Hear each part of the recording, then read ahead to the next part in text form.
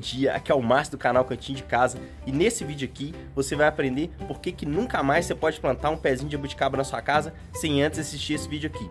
Depois dessas três dicas que eu dar para você, você vai poder ter um pezinho de jabuticaba, pessoal, em menos de um ano, produzindo várias vezes. É isso mesmo. Essas três dicas matadoras vão fazer toda a diferença e se não der certo para você, você pode voltar no vídeo aqui e reclamar comigo, beleza? Então, pessoal, desde já, assina o canal do Cantinho de Casa, dê o like aí, pois ele dá força pra gente continuar com esse trabalho maravilhoso que vocês têm acompanhado esse tempo todo aí. Compartilha esse vídeo com todo mundo que tem um sonho de ter um pezinho de jabuticaba produzindo. E chega de enrolação e vamos pro vídeo. Primeira coisa que tem que ser observada, pessoal, é em relação à escolha da muda. Aqui, como vocês podem ver, eu tenho uma muda da variedade Sabará. Essa muda aqui demora em torno de 20 anos para começar a produzir, se ela não for de enxerto. Agora existe uma espécie, essa agora que eu estou mostrando para vocês, que tem a folha mais clara, a folha é maior, que é a híbrida.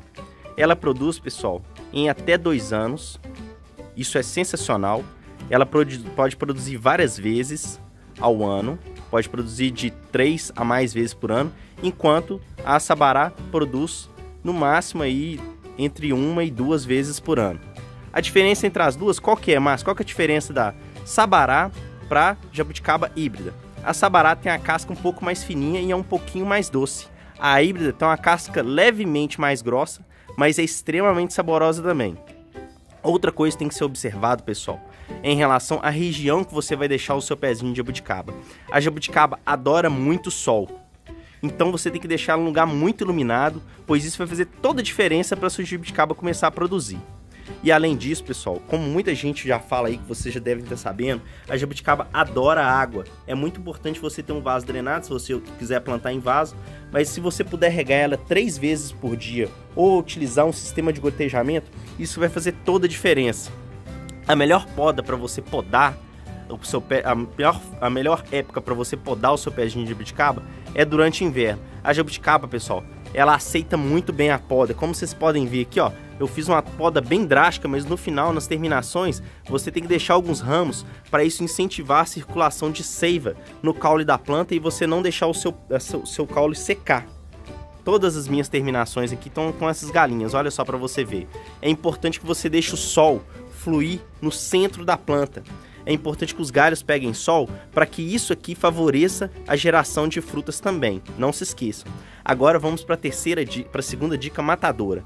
Pessoal, a jabuticaba não gosta de solo ácido é extremamente importante que você faça uma correção do solo aí. Você pode usar calcário, pode usar cinza de carvão. Eu já ensinei para vocês aí, ó, o adubo Fogogô, vou deixar na descrição do vídeo também, com restos de plantas aí, que é um adubo excelente que vai fazer toda a diferença para fazer a correção do solo. Qual é a melhor forma de fazer isso, pessoal? Você pode aplicar 3 colheres de sopa de dois em dois meses para fazer a correção do solo.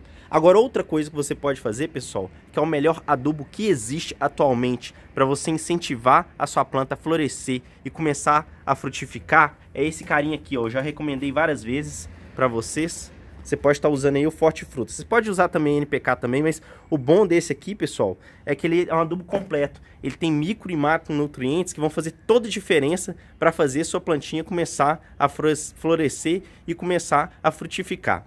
Agora, a terceira dica matadora que faz toda a diferença e vai fazer um boom na cabeça de vocês, pois muita gente não faz.